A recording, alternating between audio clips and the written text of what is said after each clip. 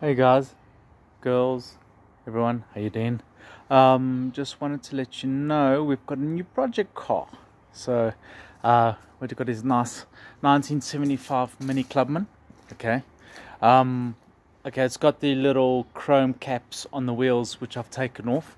I just wanted to start polishing them. Uh, the car goes. It's in really good condition. Well, for its age at least.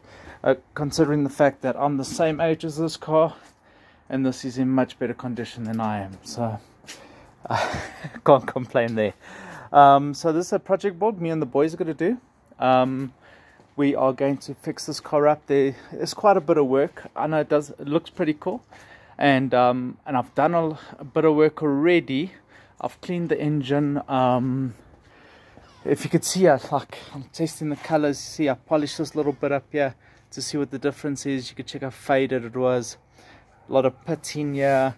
uh, if you look on the roof you get a lot of paint that's up what happened was guy was behind a truck with bricks damaged the roof damaged the bonnet. Um, so that all needs fixing. And then uh, the bonnet the roof was resprayed but uh, you know it's got little bits and pieces here and there that that well things gonna need a full respray to start off with. But uh now polish the handle, look how nice that looks, yeah. But everything else, it functions, it goes, it's perfect, there's no problems. Uh, this cover for the dashboard fell off, so um, I just put that back in place and if you look here you'll see like this whole plate's loose here. But uh, you know, all in all, the thing is in really good condition. It's got the original leather seats which I haven't taken these covers off yet. So we'll see what happens when we take the covers off. It's got the, still got the original uh, leather trimming. Uh, little things like, you know, it's got the original uh, handle, plastic handle yeah, but there they put a metal one on. So I need to just fix and clean things up. Dashboard needs to be redone. Uh, let's have a look at the engine. Let me show you the engine. Let's pop this hood open quickly. Okay. Now the engine was in a really really sorry state. Um, it was black. Sorry, I'm just trying to hook this thing in here. There. Okay. The engine, original engine, 1.1. Um, all these parts here. This was black. This was that was oil that was gunked up. You couldn't even see this bracket here. That's how filthy the thing was. Um, lots of lots of degreaser, um, lots of cleaning agent, just to get the silver coming through. You can see a lot of parts are rusted; they need to be fixed and replaced. Um, you know, it's the guy that I got the car from. He was 91 years old. He uh, just he couldn't drive it anymore. His hip was giving in, so um, he couldn't climb in and out of the car, and it was a reluctant sell. But we were lucky we got it. I mean this this bottom carrier you can still see the uh, some black bits there.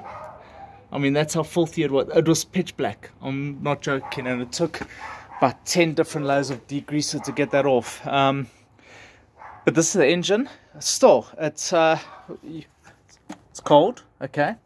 Haven't started it, so we're going to do a cold start now quickly. And I can show you how the thing starts up.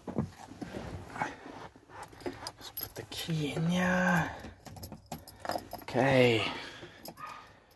Let's try. Let's give it a try. Okay.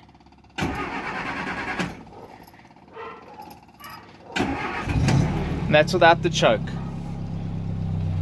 All those lights going off. Ah, there we go.